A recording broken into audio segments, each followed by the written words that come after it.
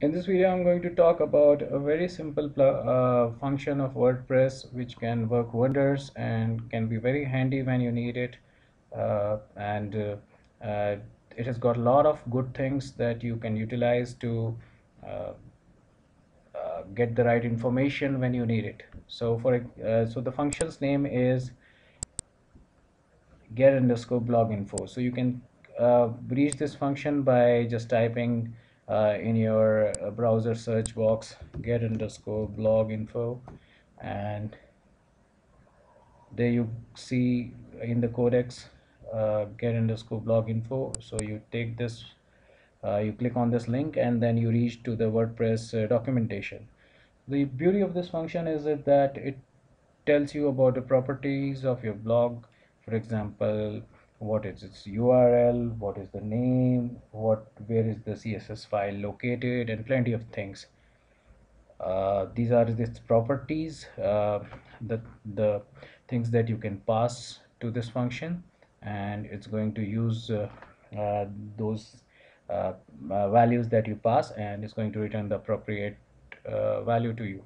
So let us see if you want to find out let's say um, what is the URL for this site I, that I am on? So what I would do is very sim do very uh, simple stuff uh, but before we start this let me make sure that you have got this uh, exec php plugin installed in your blog. And uh, if not please watch my other video about installing exec php and how do you write basic simple php code. So what I'm going to do is I'm going to say that uh, I'm going to print out something here saying that the URL of this post is dash dash dash. So let us see how we can do that. So I go to the widget section and I just uh, drag a text box from here right into the top of the search and say that here is my URL so this would be the title of the widget. And as you remember we started with uh, how to write PHP code.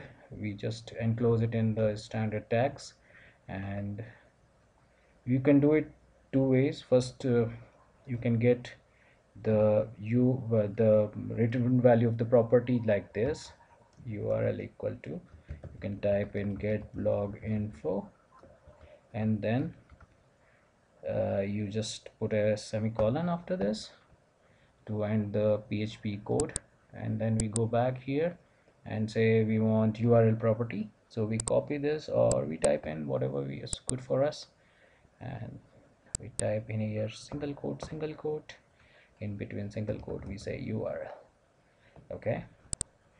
And then we we echo a value echo when we write double quote my blog url is colon and then we put a dot after it that means this there's something coming after the string and we are going to use this string out here. Use the variable that we got from here. Okay and then we press save and hopefully it should work. Okay it's saved now. And we go and refresh this page and now that value should appear right here above search widget okay so it's simple. So my url has been retrieved by this function and placed here. Can you see this? It's the same thing. So it's a very handy function. You can do a lot of things. For example sometimes you want to know where is my style sheet located. If you want to uh, find out uh, where's your style sheet directory or where what is the url of your style sheet. So just copy this part and replace it here with the single quotes cover on both side. And so now you have dollar dollar url equal to get underscore blog info uh, in the single quotes you can type in style sheet underscore url and press save.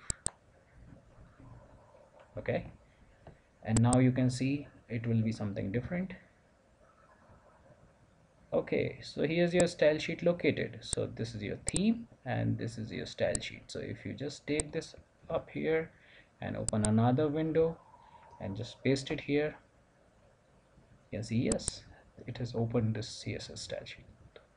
So as you can see it's a very handy function. It can provide you a lot of information about your blog.